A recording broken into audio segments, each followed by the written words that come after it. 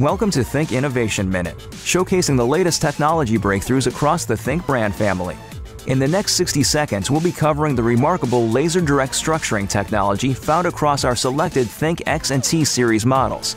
LDS technology is a unique method to inject metal layers into a composite material using a high-powered laser. It allows the copper Wi-Fi to be easily integrated into a composite material and attached to each carbon fiber laptop cover.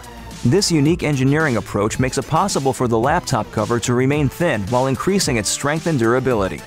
And because the cover is thinner, Wi-Fi ultimately improves for a stronger signal. So, what does all this mean for you? LDS technology allows for a thinner, higher performance laptop with excellent Wi-Fi capabilities you can count on. Laser direct structuring, innovative engineering of the future, only on a ThinkPad.